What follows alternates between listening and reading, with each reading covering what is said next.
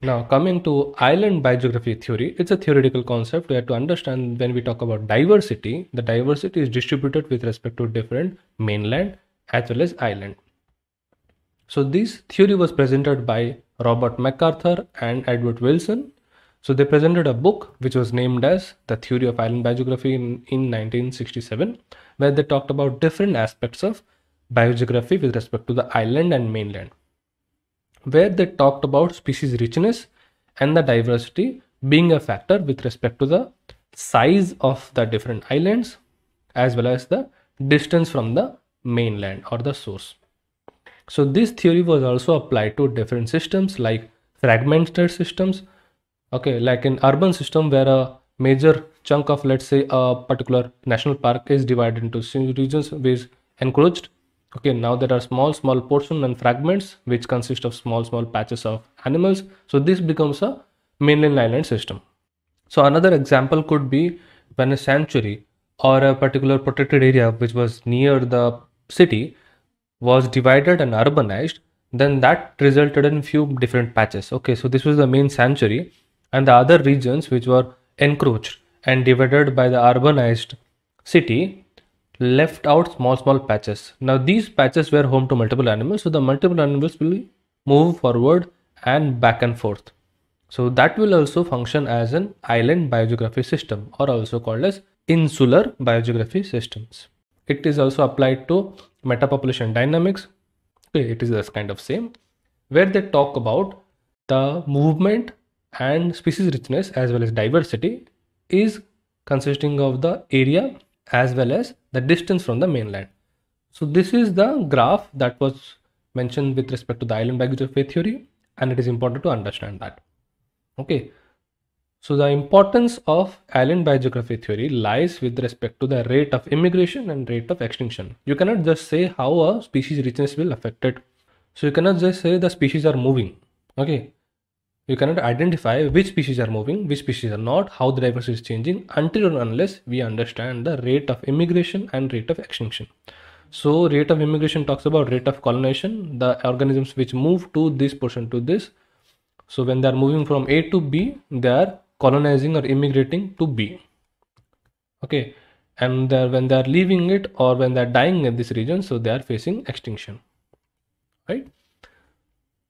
So when we see this graph, will understand that the rate of immigration will be highest when the islands are closer. Okay. Let's say this is a mainland. This is the mainland. And these are five, five islands. These are a this is b this is c. Okay. So these are few islands. And this is island d. And this is island e. Okay. So these are the few islands that are associated you will see that the closest island will have higher rate of immigration. I mean, the closest the island will receive more individuals, so the closest island will receive highest immigration. As the number of species increases in the island, when there are lots of organisms in that island, obviously the rate of immigration will decrease because this island is already filled with many organisms. So the rate of immigration will slowly decrease.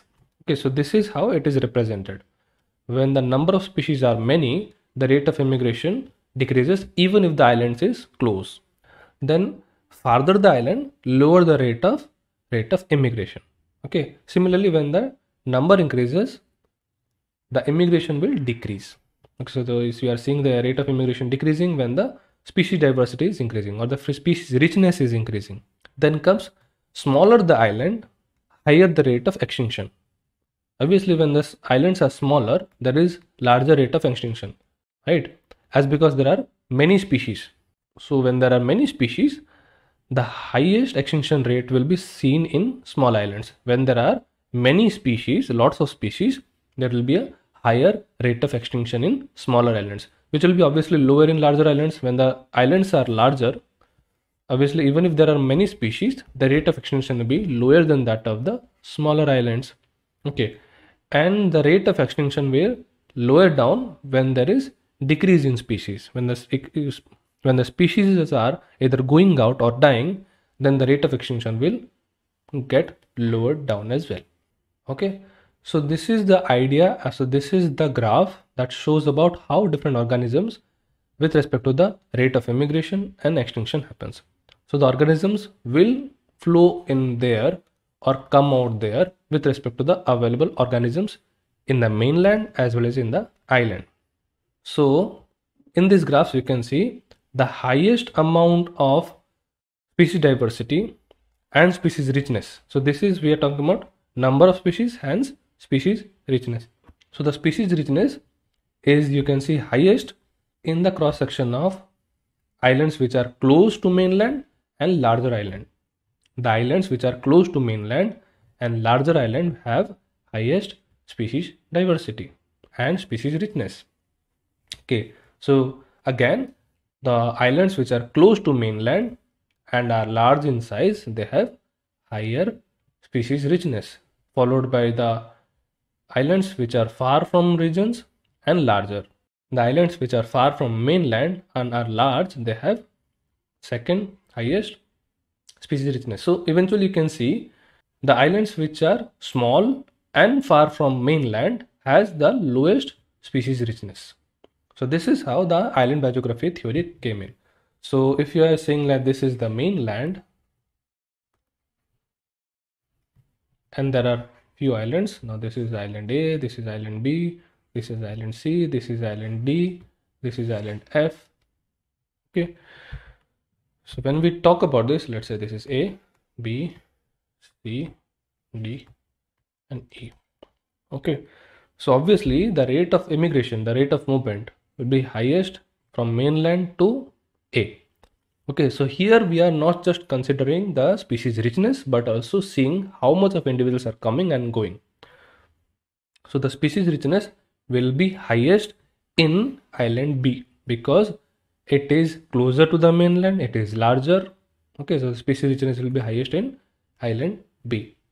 The species richness will be lowest at island D because it is smaller and far from the mainland. So island E has larger distance, but it is comparatively larger. Hence, the species are seen to be colonizing later on as well. Okay, depends on the which organism can travel farther. But if the area is less, they will not be traveling to that region. Hence, size as well as distance is an important factor. So the influencing factor that decides island biogeographic theory as well as the movement as well as the rate of extinction and colonization are degree of isolation that is distance from the nearest neighbor or mainland okay so considering this it is also important to understand that they will not just travel from mainland to the island but they'll also travel from here to here. So the distance to nearest neighbor and mainland are also influencing factor. Then the length of isolation. How much of time has it been passed to reach that or how much older is the island? More the older island more the species diversity you can see right? Then comes the size of the island. The larger the area larger facility of diversity and richness. Then there is habitat suitability. Even if the area is large and it is nearby if the habitat is not suitable then it will not face any sort of colonization. Okay. Then location relative to ocean current and oceanic movements. If it is talking about oceanic divisions and flow of nutrients as well as flow of individuals from island to mainland, we are also taking into account the oceanic currents, the seed flow patterns, the dispersal patterns, and nutrient cycles. Apart from that, it is also mentioning about the serendipity, that is the impact of chance of arrivals. Which species will come first and which species will come later on that will also decide what will the rate of colonization and then there is human activity okay so these are influencing factors which decide which organism will travel from one particular mainland to one particular island remember that this can be also utilized to metapopulation dynamics as well as insular biogeography theory where they talk about you know island biogeography theory fragmented regions as well as metapopulations so this is the entire end of ecological aspects of multiple regions where we talked about populations and ending up to biomes and biospheres of the entire world as well as India. This is it. Thank you.